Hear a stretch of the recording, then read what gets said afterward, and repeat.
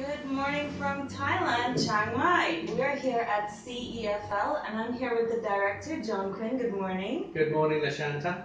It's been a lovely course so far and we really wanted to share with you guys a little bit about our TEFL experience and, you know, find out some more information from John about what's um, what this course is about, who's right for this course, and what it can do for you. Okay. Yeah, so John, I'll jump right into it. Yeah. Um, tell us a little bit about SEE TEFL, Okay. its past history, recent Okay. changes, and plans for the future. Okay. Well, our school manager, Ying, she's also my wife, we, we founded the school originally in 2004 in Chiang Mai. Uh, we started the TEFL program in 2006. Uh, teacher training had always been an interest of mine, something I always wanted to do. So I was the first trainer. Uh, I still am uh, one of the main trainers on the program. Uh, I also do other things as well, involved with marketing and admin, that kind of thing. Uh, yeah, so that, that's how we got started. Uh, very recently, we moved to our new location. Uh, Shanta and Mustafa are the members of the first group who, who have actually trained from the first their first day at the new location. So this is my new office. Yeah, and it's beautiful here. When we were looking for the new building, we thought we'd come across a boutique hotel. And I think the locals also think it's a hotel. We will post up some pictures of the outside to show you how lovely it is as well. All right, and moving on, who do you who would you recommend to do this course? Who's the ideal candidate for a TEFL? I think it's a very general, wide description because anyone can do this course really.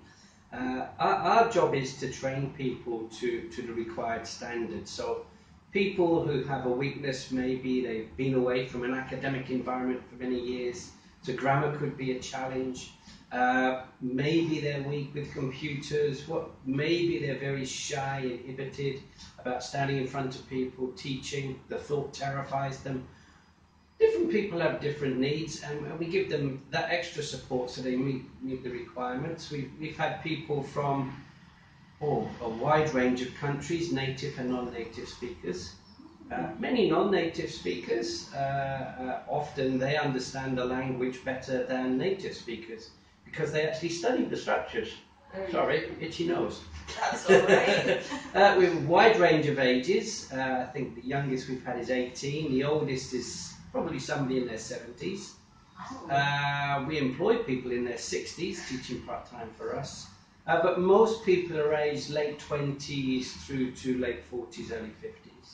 wow, that's, that's incredible. Yeah, we, we have a not an equal mix of male and females, probably a few more males than females is typical on, on any course.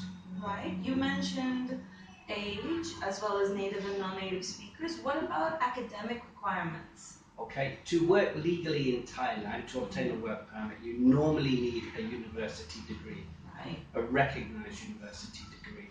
Uh, if you're teaching in a formal school, then the requirement is very strict. Mm-hmm. If you're teaching at a non-formal school, such as a language school, there's more flexibility. Right. And it depends on the support your school's willing to give you. Uh, if you teach at a university, surprisingly, uh, a degree isn't an actual requirement. That's Uh, because, because, well, it could be the university's requirement, but it isn't a legal requirement because the Teacher Council of Thailand doesn't supervise universities in Thailand. They supervise, supervise formal schools. I see.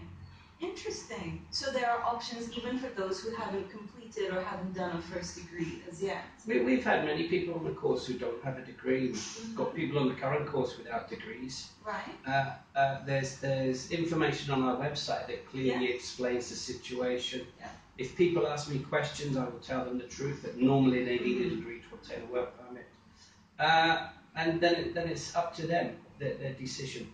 Right. Uh, we, we employ around 77 teachers in Chiang Mai, in and around Chiang Mai, Mhm. and maybe around 15 don't have degrees, but they have visas, non-immigrant B visas and work permits. Right. And that is um, that they don't encounter problems working here on the non-immigrant visas. Our teachers don't encounter problems. They're, they're employed through us. We're a non-formal school. non-formal school. So you're you're mentioning that you employ teachers as well. Is I remember seeing on the website, which we will post a link to at the bottom of our video, that there's an internship you can do with the TEFL course. Tell us a little bit about that. The internship is a fairly new program, it's around two years old.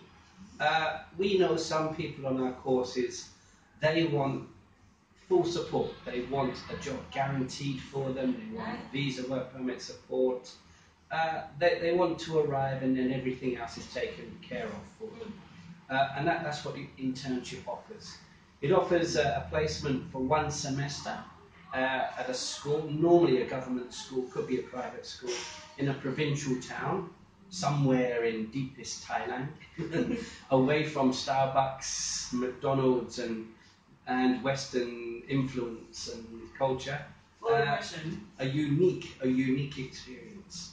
Uh, it's it's also aimed at people who want to get a taste for TEFL teaching. Maybe they just want to try it, see whether it's for them. Uh, it's also aimed at people maybe taking a year out from work, uh, mm-hmm. taking a career break, and, and then possibly, probably going back to their original careers. You mentioned that this internship caters for persons that want everything taken care of uh, beforehand for them. They arrive and they have all of these things set up for them. What about, what advice would you give to people that are coming to Thailand or probably Southeast Asia for the first time? What are some things that they should keep in mind or expect or prepare themselves for? Okay, you you you you attended our cultural uh, uh, cultural awareness training, so you're more aware of the differences here. Mm-hmm. Until you've actually received cultural awareness training, lots of things are very confusing, right. and they could be frustrating. So I think it's very important to receive this training. Yeah. Uh, you, you can pick up a lot of information from the internet by reading books, uh, but, but usually face-to-face training is more effective. Uh, it gets to the ideas very quickly, and then you can discuss, ask questions yeah. if you're confused. Yes. On day five of our TEFL course, we the entire class was taken for a cultural day of training experience of the culture and, and norms in Thailand. It was very enlightening, and I think that any course should be um, providing this to persons wishing to teach in that country. It's very useful, and it gives you a lot of insight into what you need to do and how you need to act around the locals as well. I would say, in general, people coming to Thailand, whether it's to teach, retire, whatever the reason, they need to be open-minded and flexible. Uh, things are very different here.